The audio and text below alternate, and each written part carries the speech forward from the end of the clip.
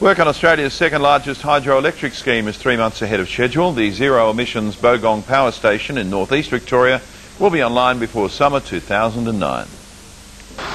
Premier John Brumby and Energy and Resources Minister Peter Batchelor inspected progress at the Bogong Power Station today.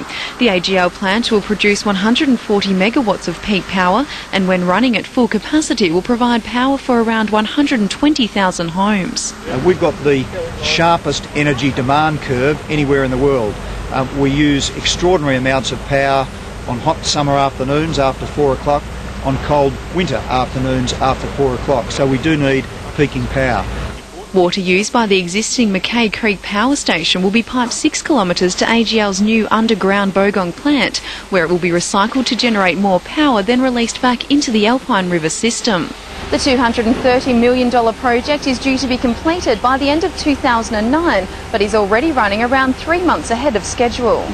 Mr Brumby says the project couldn't have gone ahead without the Victorian renewable energy target to reduce greenhouse gas emissions by 27 million tonnes. That renewable energy target puts a premium in terms of renewable power, clean energy, green energy, and that's meant that this project uh, can achieve satisfactory rates of return.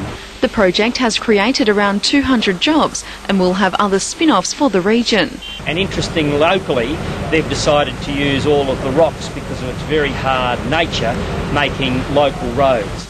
Carly Gange, Win News.